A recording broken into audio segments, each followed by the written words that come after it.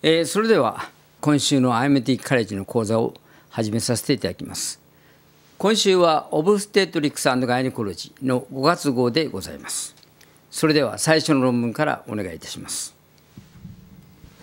母体脂肪を特定する際に酸化コードのみに頼った場合には、不正確な母体脂肪率を算出することになります。テキサス州では、データをマッチングさせ、記録をレビューする改良法を用いることで、正確な母体脂肪率を得ることができました。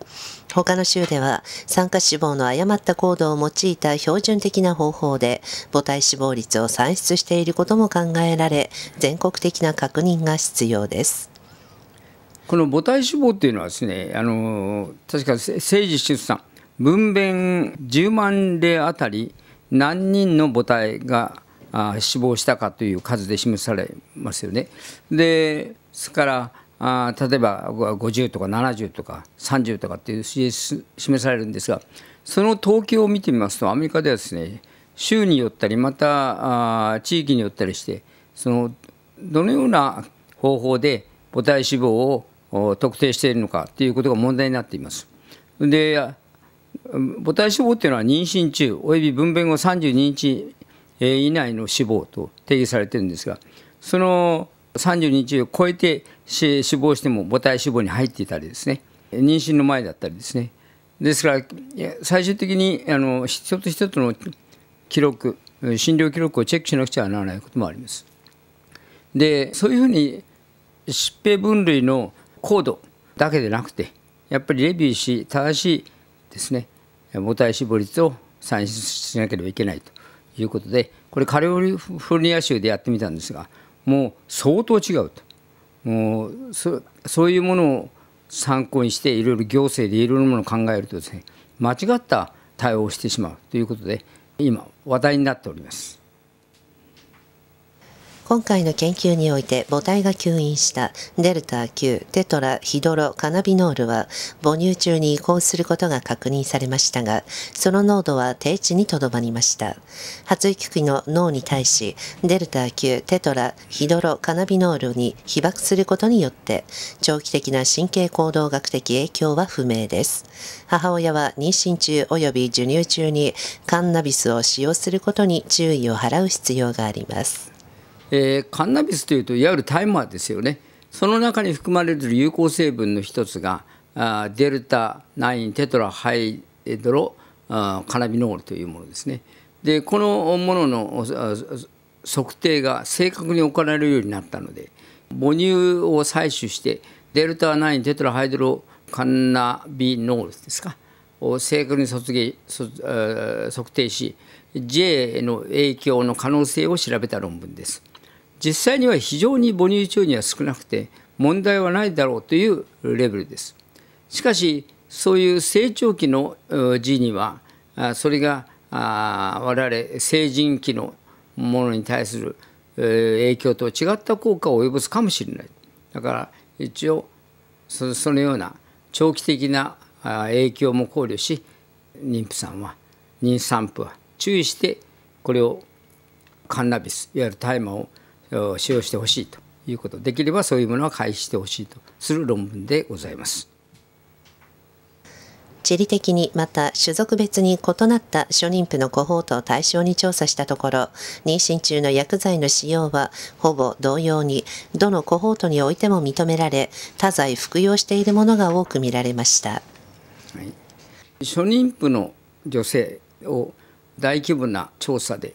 使用している薬剤を調べてみたんですね。そうしましたらですねいわゆる鎮痛剤とか精神安定剤とかそういうようなものを服用している人がかなりあるんですね。で、えー、外来に来てそういうふうなものについてお話ししますとねその後使用頻度が減ったというのもあります。それから医師がですねもともと母体に関わる重要な疾患に対して薬剤を使ったとして、え、した場合むしろ字にいい影響がある なというですね説明すると使用頻度が増えるわけですね。ですから薬剤に関して適切な指導を行う必要があるということでございます。インフルエンザワクチンを妊娠第一三半期の早期に接種することで流産が誘発されるのではないかとする論文が発表されました。しかしその研究には限界があり直ちにその結果を臨床に導入すべきではなく3回は患者にインフルエンザワクチンを勧告に従って投与する責任があります。あのインフルエンザワクチンというのは妊娠のどの時期に投与してもいいというふうになってます。むしろ妊娠中にインフルエンザにかかりますと非常な重篤になりやすいということですからできるだけワクチンを打っておくところがこの最近報告されたあ論文で流産を増やすと妊娠早期にインフルエンザワクチンを投与すると流産になるという論文があったんですしかしその中身を調べてみますと一群がですね十数例とかそういうようなレベルでとてもその確実な根拠になり得ない論文であったということが明らかになったんですね。ですからこの著者はですね医師は妊婦に対してこのインフルエンザの恐れがあるような時期においてはワクチンを投与するというのが妥当な方法であるということを主張しています。36歳の2回計に1回計算の女性において、2回の連続した妊娠で母体の発熱が認められましたが、胎児胎盤系に対する母体の免疫反応に伴う胎盤の二次的な炎症反応によるものと推定されました。原因が不明で母体の発熱を見たような症例ではその起源は胎盤にあることも考えておく必要がありますこの母体がですねかなり進行してから母体に発熱を見たと。でこの患者さんは前回の妊娠にも同じような発熱を見たらしいんです。で検査しましても出てこない。ただ CRP がですね高い。以外にはあまりその自己免疫反応に関わるようないろんな検査でも異常は出てこないんですね。それで感染を示すような明らかな兆候もない。ただ発熱なんですね。でこの方はですね予定日に来る前2000グラムちょっとぐらいの子供分、うん、を産してます。でその時の胎盤を見ましたら胎盤に炎症を伴うですね壊死が認められたというんです。この原因は不明ですけれどもこの妊娠中に原因不明の発熱を見た場合には胎盤にその起源があることもあるということを認識しておく必要があります。携帯電話を利用した健康支援のための介入は、妊娠糖尿病の発現頻度の低下をもたらすことはありませんでした。はい、携帯電話でですね、BMI が高いなど、糖尿病になりやすい、えー、そういう素因を有している人を対象にですね、えー、いろいろ指導したんですね、電話で。そうしましたらですね、えー、その普通の一般的な介入群と比較し、え妊娠糖尿病の発現頻度が低下するかと思ったら低下しなかったと。ですからもう少し運動を促す、えー、糖の摂取を抑制するなどのですね、えー、生活習慣をを改善させるなどいろいろな方法を積極的にやらなければ単なる電話による介入だけでは結果を改善することはできないということだそうでございます。妊娠20週未満で薬剤を服用していないにもかかわらず、基礎レベルの血圧が正常にとどまる慢性高血圧の起用のある女性は、慢性高血圧を伴わない女性と比較し、ネガティブな周産期の臨床結果を見るリスクが上昇します。はい、この慢性高血圧というのは普段から血圧が高いわけですね。そういうような患者さんにですね、妊娠中にいろいろ妊娠の前にいろいろ治療してるわけです。で妊娠の20週前では正常な血圧になったと。正常な血圧になった場合でも1群は薬をやめていた。2群は薬を服用していた、えー、それから全く妊娠高血圧を伴わない。えー、あにあもともと慢性高血圧を伴わない。この3群を比較したんですね。そうしますとやはりこの薬を服用してたとしてもまた服用しなかったとしても慢性高血圧を見る、えー、女性は周産期のいろいろな合併症の発現頻度が高くなるということなんですね。だから血圧がコントロールされていてもリスクが高くなるということを考えておく必要があると思います。出生時の SGA の字を予測する上で RCOG の推奨する診断アプローチを用いることで ACOG の推奨する基準を用いるよりもわずかながら SGA の予測能は向上しました。将来の研究で異なった対象者において異なった方法を用いることの有益性とデメリットについて考えてみる必要があります。このあのイギリスの産婦人学会 RCOG ですねではですね SGA という胎児発育不全というのを診断するためにはですね、いろいろなその超音波所見から見た推定体重とそれから腹囲を測ってですねそれが10%タイル以下の場合には SGA の疑いという診断を下すわけです。一方 ACOG アメリカの産婦人科学会ではですねこの腹囲の規定はないんですね。えー、いわゆるいろんなあ、えー、大腿骨頂とかいろんな、えー、BPD とかいろんなものを測って、えー、低出生体重時のリスクを割り出すわけです。でイギリスの方がですね少し感度がいいようなんですね。やはり腹囲を測定して、えー、基準値と比べて10%以下であればこれはやっぱり要注意と判断されます。薬局においてホルモン性避妊薬を処方し提供することができるようになりましたが、実際にホルモン性避妊薬を提供している薬局はごく少数にとどまりました。薬剤師のサービスに関し、さらなる法的処置を講じなければ、大規模な避妊薬の提供は見込めず、避妊のアクセスの拡大を図ることはできないと思われます。アメリカにおいてはですね、妊娠が成立した例の約半数は本人が希望していない意図しない妊娠だと報告されていますそのような例を回避するためにはですねあの単に病院を医者の処方箋を得てそれから薬局に行くというような複雑な手順ではなくて直接薬局でもですね、えー、避妊薬が欲しいとホルモン剤が欲しいといえば、えー、提供できるというふうに、えー、法律が変わったんですね。しかし実際にそれに応じている薬局は極めて少ないということですね。その状態を改善しなければですね依然としてこの意図しない妊娠のの高い比率が持続し予後の改善を図ることはできないとする論文でございます。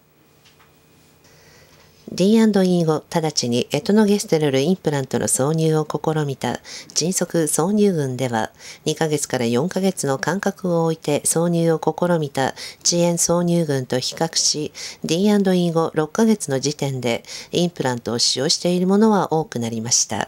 しかし、追跡調査を受けたものの割合は低く、エトノゲステロルインプラントに対する受容度や妊娠率などに関し結論を得ることは難しいものでした。D&C を受けるということはですね、予期しない妊娠に陥るリスクが高いというわけです。で、そういう方はですね、D&C を受けた直ちにですね、えー、避妊操作、すなわち、えー、とのゲストレルインプラントを注射するということによって、えー、望まない妊娠を回避することができる。で、私は今中絶したばかりで2、3ヶ月置いて考えますという人はですね、その後インプラントを受ける割合は低いんですね。そしてそれを継続する割合も低いんです。ですから、あなるべく早期にエトのゲストラルインプラントを行うようなあ体制を取ること、またそれがいい結果を生むことというようなことをですね、少し啓蒙しなければならないという論文でございます。重度の妊娠要素で一チューブによる栄養補給が禁忌である患者において、直接経費的内視強化、空調炉増設術が選択肢の一つとなる症例に遭遇しました。えー、この方はですね、胃に問題があってですね、普通はあの経口摂取できない、えー、なんていう時にはあの鼻腔栄養でマーゲンゾンド入れて胃に栄養分を補給することができるんですがこの方は胃に障害がある。そういうことができない。ガストロパレーシスという論文あのそういう起用がある。したがってその腹腔鏡を持ちましてねあのお腹の上からその空調に対して、直接、えー、その老孔を作った。で老孔がこのこの閉鎖しないように、えー、一部上と皮膚の上その腸の中と上に一種のデスクみたいなものをこう置いてそれずれないようにしたんですねそうして空腸に栄養を補給したところ非常にいい結果が得られたという論文でございます。1980年代には HIV が陽性の男性と陰性の女性、いわゆるミックストステータスのカップルに対する対応法について、いろいろな生殖に伴う懸念が示されました。ドナー精子を用いた IUI を行ったところ、HIV の感染した例も報告されるようになりました。その後、洗浄精子を用いた IUI が進められ、精子のドナーには HIV を含めたスクリーニングを行い、6ヶ月の猶予期間を置き、さらに検査し安全性を確認するという対応法も取られるようになりました。しかし現在では効果的な HIV の抑制を図る抗レトロウイルス療法も開発され、時にはコンドームを用いない成功でも感染を回避できるということが確認されるようになり、不妊治療に対する選択肢の幅も広がりました。この HIV ということがこの世に知られるようになってからですね最初は HIV をが陽性であればですね子供を産む産まない方がいいだろうというようなことまで言われたんですね。でそのうちにですね抗レトロウイルス療法って薬が開発されましてそれでそのウイルスの濃度も低くなった。血中レベルが低くなった。そしてリンパ球 CD4 も値も結構高くなった。というようなこともあってですね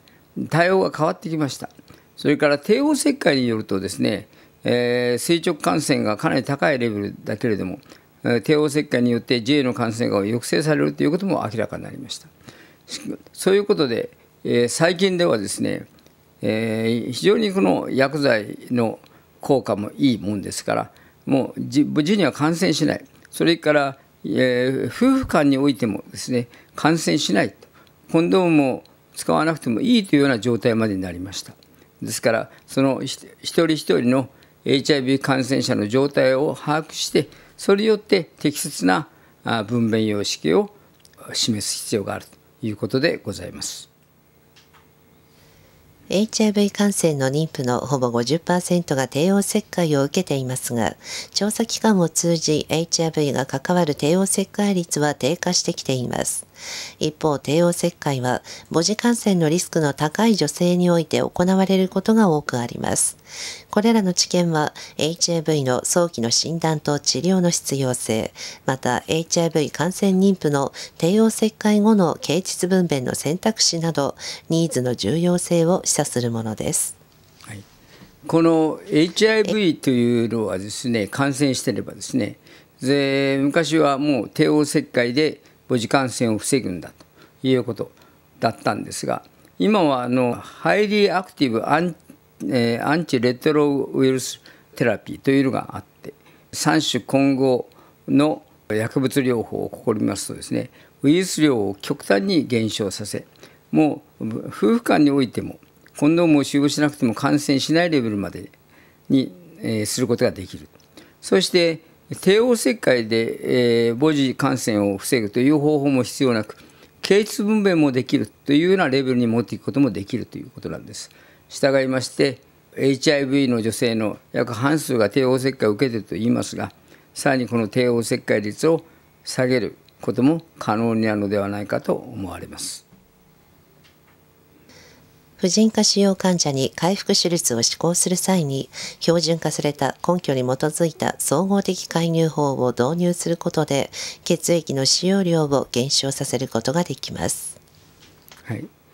やはり婦人科の悪性腫瘍なんて言いますと広範な手術が行われますから出血量も多いんですね。それからあの操作するところはたくさんありますからその一部のところで、え多少の出血があったとしてもそれが全体としますと大きな出血になって輸血が必要となることもあるわけですね。ですからその時の手順をしっかりと決めておいてチェックリストを決めておいて例えば膣断端部の止血は十分か某大動脈のリンパ節覚醒術をした後の止血は大丈夫かとか腹膜を縫合した後の不潔は大丈夫かとかそういうチェックリストに沿って全部こういうふうに、えー、問題を回避するわけですねあ。そうしますとですね意外にあの癒着や、えー、輸血を行うですね頻度が減少するということが分かったんですね。やはりそれぞれの病院でその手順をきちっとマニュアル化して手術に、えー、適切に行い癒着の頻度を低下させるあ癒着輸液の輸液が間違えました輸血の頻度を低下させるとそのような対応が必要だと思います。早期の子宮頸がんの患者において全国総合がんネットワークガイドラインに準拠しない治療を受けていた場合頸がん特異性死亡率は上昇しまた黒人及びメディケードの対象者においても上昇が認められました。ガイドラインに準拠しないものは、高齢者、社会経済的状態の低下、症例数の少ない医療センターでのケアの受診者などに認められました。ガイドラインの準拠率を上昇させるため、何らかの対応が必要です。えー、子宮頸がんの比較的早期というと、1期、それから2営期などですね、そういうようなあ患者さんにですね、このような手術をした方がいいというような対応法が示されています。そのガイドラインに沿った治療をすればですね死亡率も低下しますですねしかしそのような、えー、ケアを受けてない人も結構いるんですね例えば黒人であったりそれから政府の干渉保険、えー、に属していたりそういうようないろんな恵まれない人また特に高齢者においては適切な治療が行われていないこともあるそういうことがあってはならないということで頸がんの手術のガイドラインをさらに、え守る準拠率を上昇させるということが重要であるとする論文でございます。今月は STD の最近の研究に焦点を当て、ドクター・ステファニーが4つの最近発表された論文を紹介しています。論文1では、臨筋感染の頻度は増えてきているが、薬剤耐性菌も増えてきている。薬剤耐性を検知するための新たな治療法を開始するための研究、さらに臨筋感染に対するワクチンの開発などに関する研究も必要であると述べています。論文2では、ヘルスケア提供者は梅毒、先天梅毒感染、検査法、診断のために用いられる検査法、治療に用いられるペニシリン投与量などに対し、知識を有している必要があると述べています。論文さんでは HIV 以外の STD 感染を見た女性において HIV の母子感染のリスクを上昇させる。またサイトメガロウイルスは周産期の HIV 感染と最も強い相関を示すという調査結果が得られていると述べています。論文4では、自家ウイルスが成功により感染するメカニズムは考えられているものの、この RNA ウイルスは症状の発現後188日間も精液中に認められることが確認されていると述べています。この論文はですね、グリーンジャーナルで最後にその消毒会のようなですね、いくつかの論文を領域の専門家が解説する論文でございます。今回は STD に関する問題で臨筋というものの感染も増えている。それに対して適切な対応をしなければならない。臨筋に関する免疫療法ワクチンなども考えてみる必要がある。という論文が最初に紹介されています。また STD 性感染症にかかっている人はですね HIV の感染のリスクも高いしえー、いろいろな集団期の合併症を起こすリスクも高い。で、この STD、えー、性感染症に何らかの対応をする必要があるという論文。最後の論文はですね、自家ウイルスっていうのは血中では1週間程度で消えてしまうらしいんですが、この生域の中ではですね、数ヶ月も自家ウイルスが存在していた例が報告されています。したがって性感染症でもある顔を返さないですね感染もあるということでその自家ウイルス感染をした場合には STD としての自家ウイルス感染に注意する必要があるとする論文でございます。えー、これで今日のオブステートリクスガイノコロジーの5月号の論文の紹介が終わりましたもし先生方が何か新しい情報詳しい情報などを知りたいということであればどうぞ国際医療技術研究所にアクセスしてください。何か先生方のお役に立つような資料を提供できると思います。それではまた来週お目にかかります。今日はどうもありがとうございました。